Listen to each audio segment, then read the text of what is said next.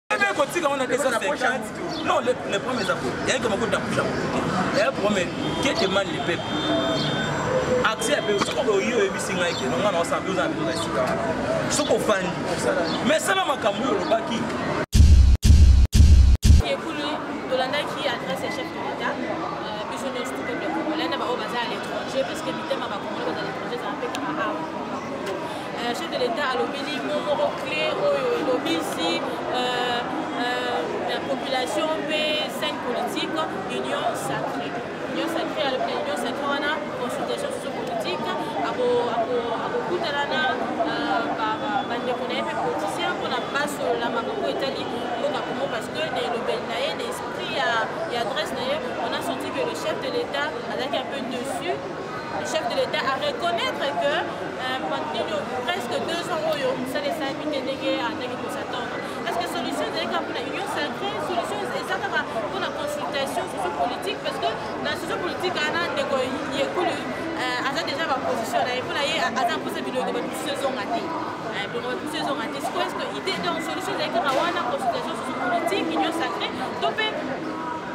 Proposition mosusu, idée mosusu, solution mosusu mpe ezalaki na yango mpe oyo chef de l'État akomaki le chef de l'État, le président de la République et le chef de l'État. ye nde harmonisaka vie epuis synergie ya bainstitution zotikali soki problème ezali mpona baministre ministre moko azodesobéir na ordonnance ya chef de l'état na vie ministre eza oyo babengaka réunion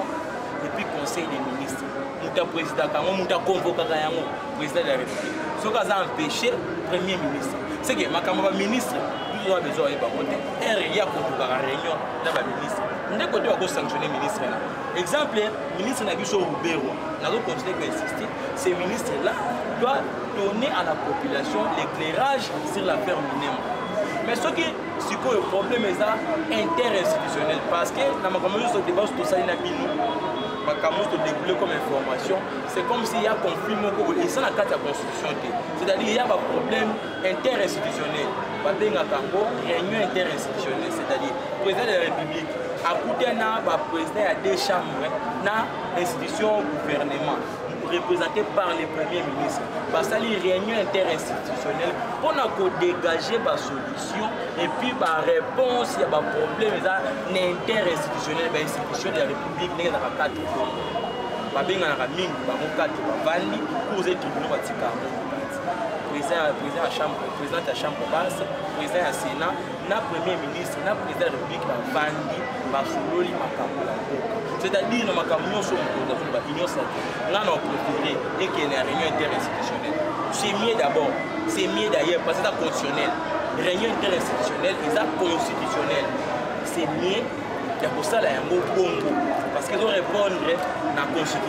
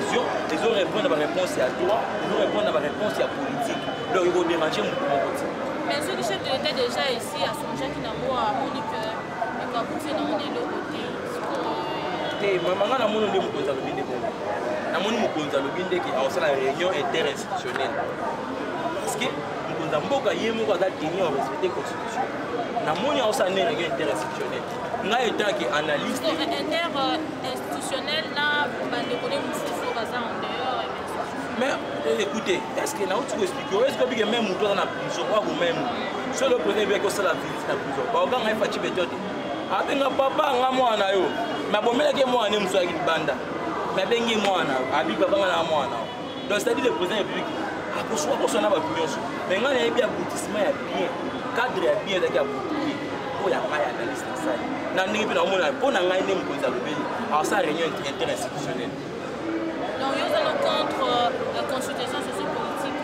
Mais quand on dit sociopolitique, tous ces gens-là, euh, nakoboya nde likambo ezala en dehors ya institution eza extra parlementaire voilà soki ekomi bongo nakoloba eloko moko soki ekomi bongo seke tokomi na forme ya irrégularité tokomi na forme ya eloko moko boye oyo eza na bape ya constitution te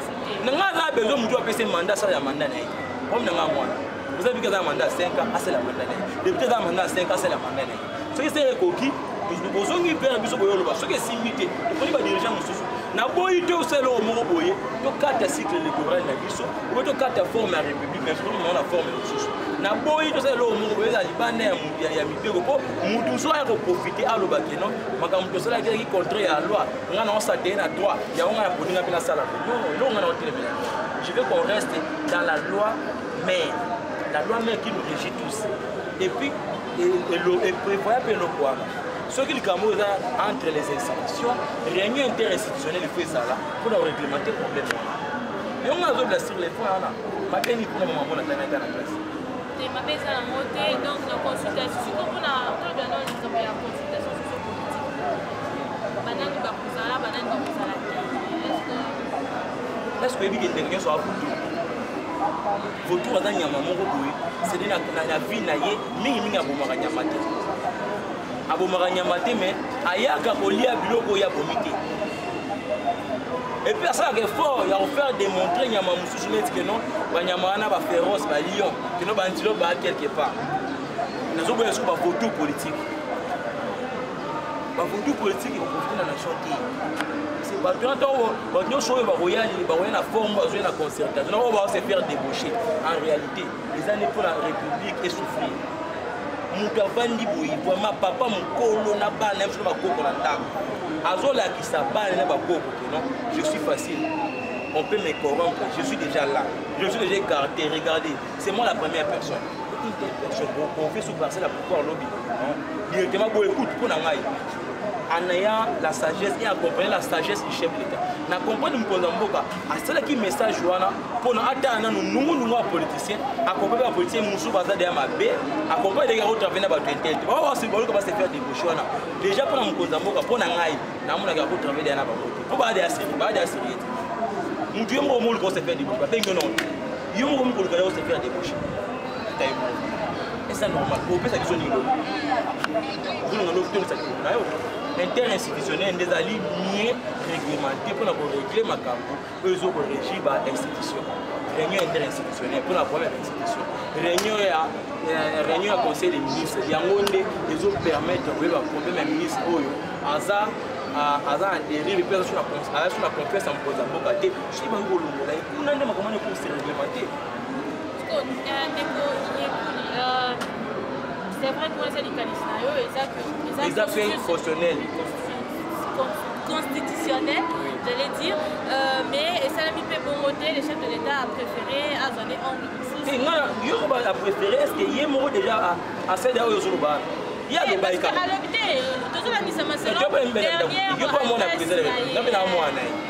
biso mibale nde toza boyo ya journaliste ye notanga baquestion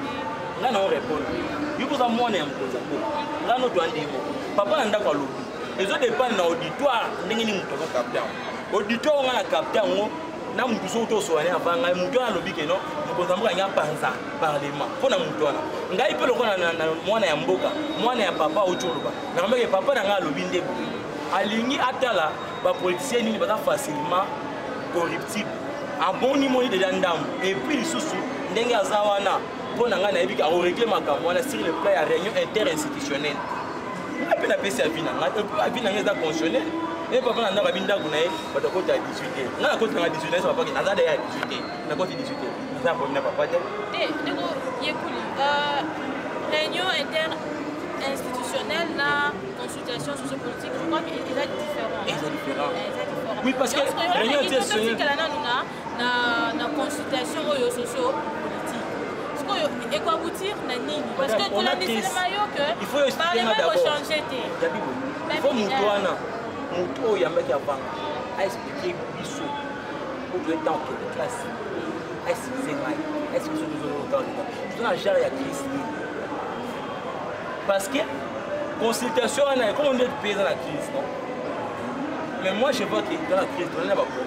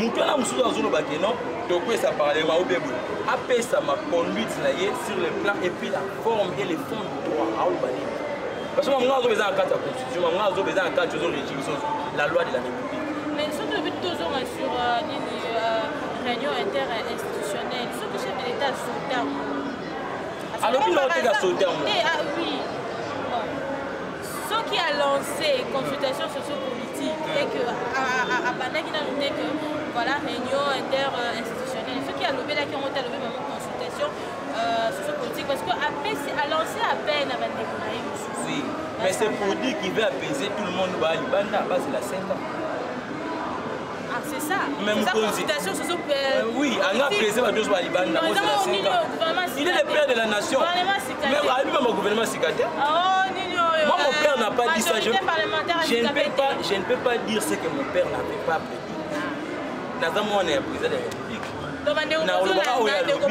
papa na biso alobi te ke no bino nde boza na baoconsidé bino mpo okota na gouvernement te alobi ndenge azoconsidé bino teke papa ya mboka epa kozonga epa na biso bana ya mike totikali na nsima ayebisa biso ndenge asololi na bino ayesi bino teke bokomba baministre bomi kosetela debauche kaka pamba na bakomiso ministre te Bête comme ma mise, on consulte ba yo quand même nini. Dans Unity, bo bolongo ba parti na bino. Ko tika ba parti na bino, ayebi si bino te que non ndenge ba consulte wana, ba comme so député be ministre te. Eza na procédure mutu azalaka nango pa koma député.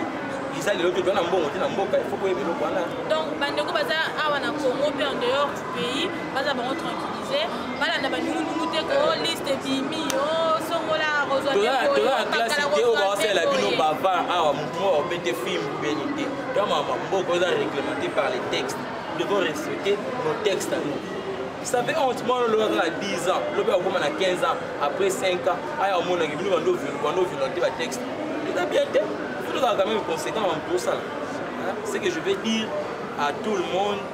il faut oyeba eloko moko omoni ndenge famille ezalaka gérer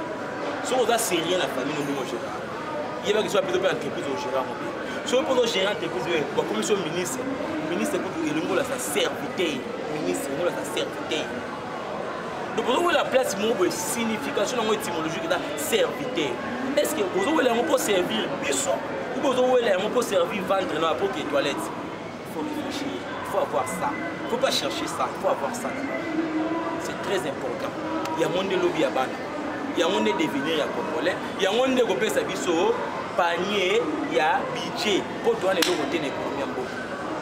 mboka mobimba pib eza bien te pib eza na se ya 5 dollar mais mboka wana bozolingaka badebauchage bolinga baconsultation bozolingaka badebauche yo bapesa oparcele ya pouvoir osenrichika yo na famille na yo bosaniki il faut servir ne peuple donc aidons notre chef aidons notre président ngai lokola moko ya bacongolais nayebi ke consultation ya mokonzi ya mboka eza interinstitutionnel ya kokutana na bainstitution mpona etrouve problème oyo eza entre bainstitution c'est ça ce que dit la constitution problème ya ministre eza na kati ya conseil des ministres nde ministre wana bakosanctionne ye nazongeli ngai na na problème ya minene toza na danger lelo 20 ezoya bana na ya minembo tokosala ndenge nini comment devons vivre avec ces gens là bolutika yango kaka boye likambo eza grave yango wana gravissime eza kote wana mai botiki yango boyeka na makambo oyo yo oye a ozwi ozwi eh, nini taxi moko ya jaune oke mbango oke oluka baconseil ya président mpo badebauche yo est ce que ya normal na baage nongo oza mokolo nongo oza wana mai bokola soki oponaki po basala yaka na politique avec les idées bayaka na politique avec la conviction et façon no ya kooriente makambo okozala mpe kaka oza na fcc osalaki makambo ya bien baosepela na yo eza te kaka kende ofuki eza na ngambo ya kashe tomonana te qui vous dit que ba nyonso baoza na kashe baogangaganga baomerite siko baolobela wana non gardons notre éthique c'est ça l'essence même de la responsabilité voilà ce que je peux dire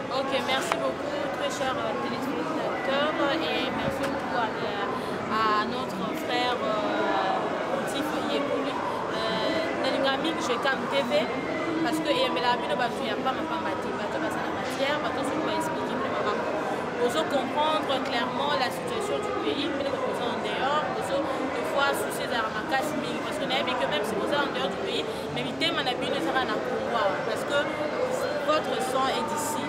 Donc toza makila moko yango na kosala biso souci na biso ezaka toyembela bino bato oyo bakofaire comprendre bino makambo clairement tolandi euh, attentivement ndeko na biso euh, potifiye kuli ndenge ya explike biso c'est vrai que na suka alingi atouche sujet ya minembwe mais tokozongaka tokozonga avec lui totyaka bacause totyaka bapointe parce que azoloba bien mpe aza na matière ebele Merci beaucoup na bino bino ba bino siko bo na chute chute merci beaucoup voilà, merci beaucoup na attention na bino na amour na bino na fidélité na bino et bo s'abonner toujours bo partager ba émission na biso bo s'abonner toujours bo za toujours connecté et surtout surtout surtout bo za rater à chaque fois bomoni